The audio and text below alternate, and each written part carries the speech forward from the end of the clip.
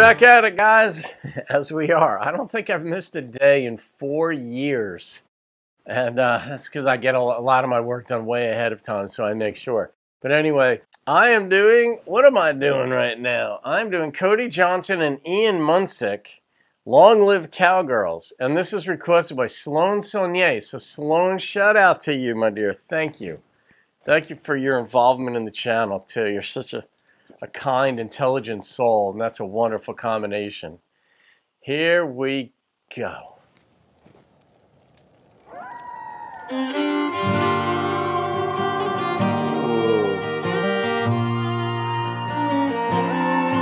Very different.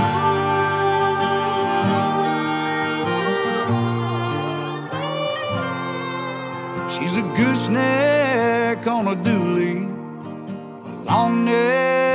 at the bar. Loves old John Wayne movies, waltzing under them stars. She's sun up in the saddle, cutting through the hurt. Loves branding her cattle. Long live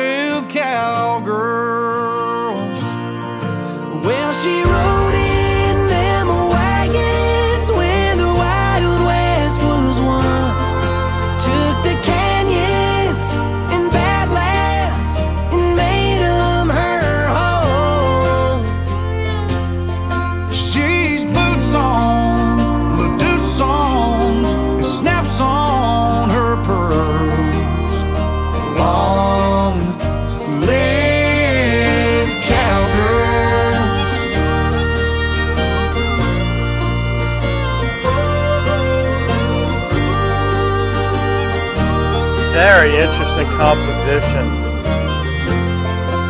like a paint colored Mustang. She's fast and she's wild. Stop a runaway freight train with her high country smile. She's tough as December, salt of the earth, make you fall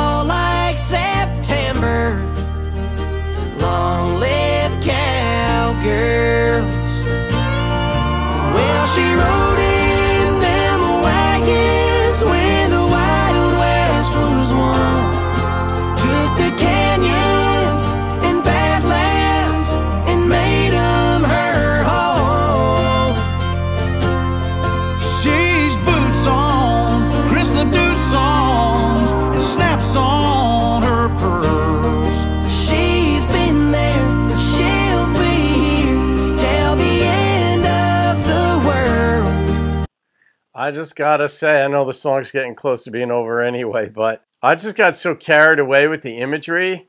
And I haven't been to the Badlands, but I've been in South Dakota a couple of times. The canyons, you're talking about probably Arizona or Colorado, but I just got carried away. And then uh, she could stop a freight train with her smile. I mean, I mean, who doesn't sort of in a way fantasize about cowgirls, you know? Long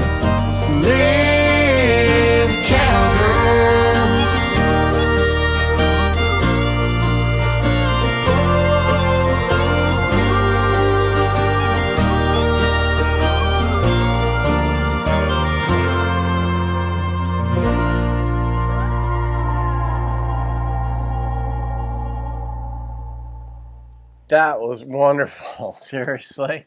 I don't know who wrote that. And by the way, it's not a research channel. Every so often somebody leave a comment. Somebody left one the other day, and it was a real jackass comment just about do your research and all this. It's like, well, way to seize a wonderful moment with beautiful song and turn it ugly. I don't know who wrote this song, but what a beautiful song. Uh, it was really good writing because I marvel. You've heard me say this before. I marvel at like when you select certain thoughts to go into a song like this. I mean, this wasn't like a narrative development type thing where the story was being told, you know, chronologically.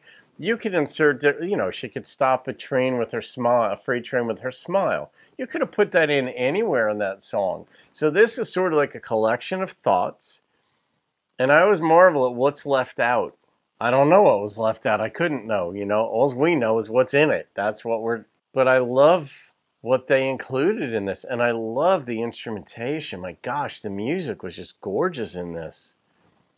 Just allowed you to feel it and just, you know, and uh, what I got mostly from this was the toughness of cowgirls. You know, not just like the prettied up you know, cowgirls going out to go dancing one night with their boots and shirt on and all that.